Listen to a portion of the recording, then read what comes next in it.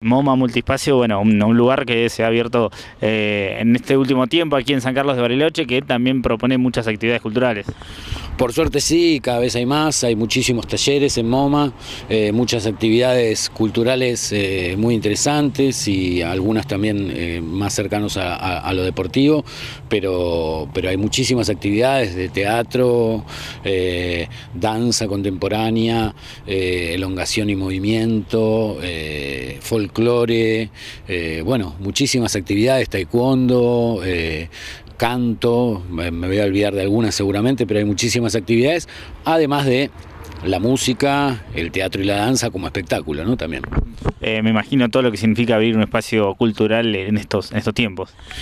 La verdad que sí, es mucho esfuerzo, eh, pero también a la vez es un lugar que alberga no solamente eh, sueños, sino también alberga la posibilidad de dar trabajo a docentes y de abrirse a la comunidad eh, ofreciendo algo tan importante como es eh, la expresión, ¿no? lo expresivo, la, la búsqueda de lo expresivo y de encontrar un lugar en cada ser humano eh, de disfrute y de esparcimiento, si se quiere.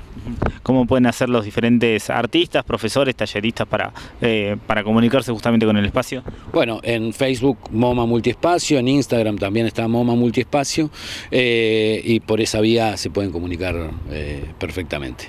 ¿A, qué está abierto justamente MoMA?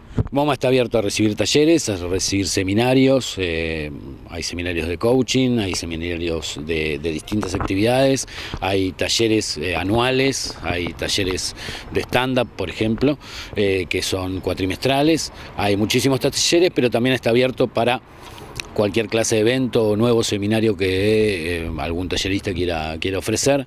Estamos abiertos, hay todavía algunos horarios disponibles, así que la idea es ofrecer la mayor parte de actividades posibles para que la gente tenga en el centro de Bariloche eh, o cercano al centro, digamos, porque esto está en el kilómetro 4, eh, la posibilidad de acercarse y vivenciar un montón de, de actividades artísticas y o culturales. que pueda disfrutar, generar desde, desde, desde el ser humano, ¿no?